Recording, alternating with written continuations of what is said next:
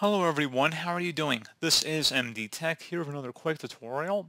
In today's tutorial, I'm going to show you guys how to hopefully resolve if you're having an issue with Windows not being able to open any programs. So this should hopefully be a fairly straightforward process here guys, and without further ado, let's go ahead and jump right into it. First thing I recommend doing would be to open up the search menu, type in CMD, best result should come back with command prompt, right click on that and select run as administrator. If you receive a user account control prompt, go ahead and select yes.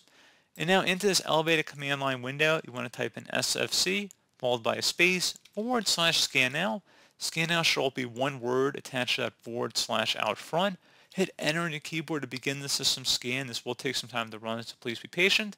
Now, if you're unable to run this program in the normal Windows operating environment, you can run it from the recovery options as well. So if you want to go boot off of your media creation utility for Windows 11 and launch troubleshooting options, you can. And you can also boot into safe mode, which you're welcome to view a video on my channel about how to boot into safe mode on Windows 11, and then try and run this utility from safe mode. So again, that's something else I would strongly recommend you guys check out.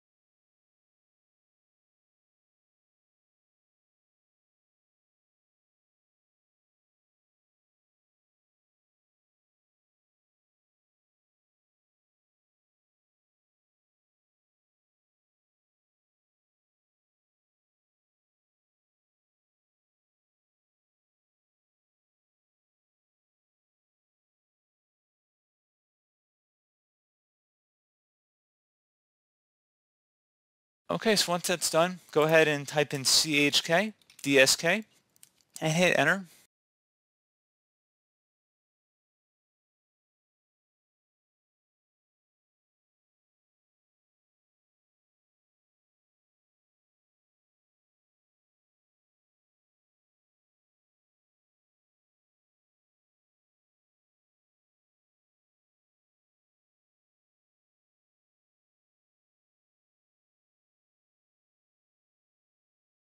Alright, so you see it didn't find any problems, which is good.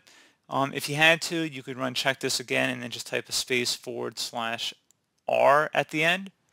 So again, that's something else you can try here. Also close out of here. Open up the File Explorer icon. Select this PC on the left side. And then right click on your drive where Windows is installed and select Properties.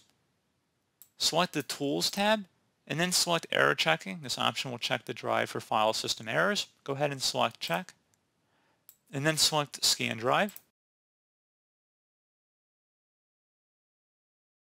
Once you're done with that, close out of all of this and restart your computer.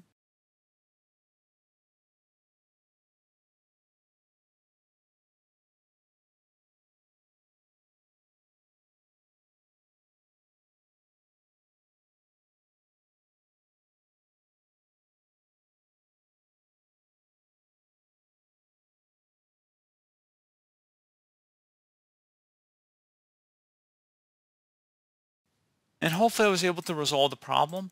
Something else you can try here as well would be to open up the registry editor.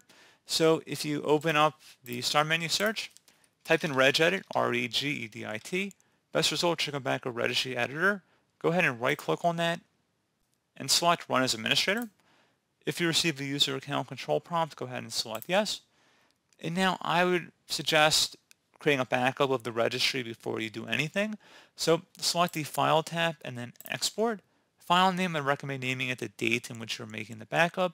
Set export range to all and save it to a convenient and easily accessible location on your computer. And if you ever need to import it back in, all you have to do is select File and then Import. So again, pretty straightforward process, and now we're ready to begin. So we're going to start off by double clicking on the HK classes root folder, and then do the same thing for the .exe file. So go down to .exe. On the right side, there should be something that says default. Go ahead and double click on it. And make sure it says exe file, no spaces in between any of the words here. So again, exe file, all lowercase. Select OK. Again, that's if you had to make any changes here, of course. And once you're done with that, you can just close out of here with just restarting your computer once again.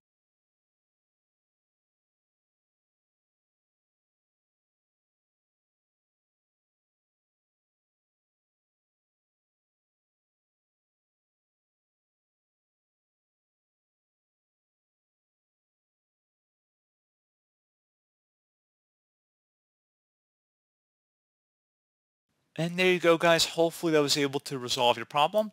And as always, thank you for watching this brief tutorial. Do hope I was able to help you out, and I do look forward to catching you all in the next tutorial.